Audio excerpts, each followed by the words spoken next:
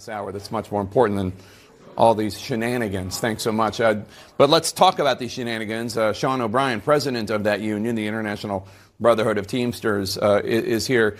Uh, and, and, Sean, I have to say, uh, I'm sure you're, you're plenty strong.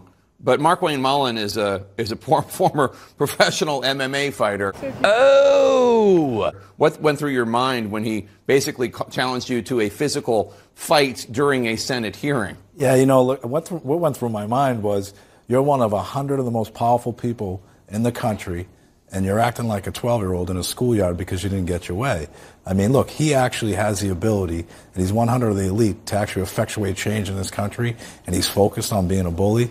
You know, we're not going to stand for it, and we definitely were brought up differently. Okay, but can I say you're tweeting like a 12 year old? Oh, tweeting like a 12 year old. I mean, your tweets were were you're not a United States senator, okay? And, and I get that your tweeting is not the same thing as calling somebody out during a Senate hearing. But, you know, you know where to find me any place, anytime, cowboy. You're making fun of him for not being the tallest senator. I mean, you represent 1.3 million workers. Do you really think that tweet, there's the tweet right there with your pink circling of uh, the apple box he's standing on. Do you really think that that is best serving, best representing uh, the members of the Teamsters Union? His story is compelling but inaccurate.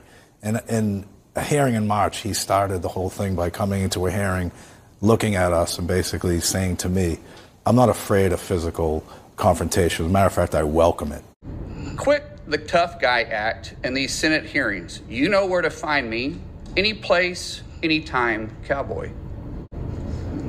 Sir, this is a time, this is a place. If you want to run your mouth, we can be two consenting adults. We can finish it here. Okay, that's fine. Perfect. You want to do it now? I'd love to do it right now. Well, stand your butt up then. Well, stand your butt up then. You stand your butt up. Oh, hold on. Oh, oh, stop it.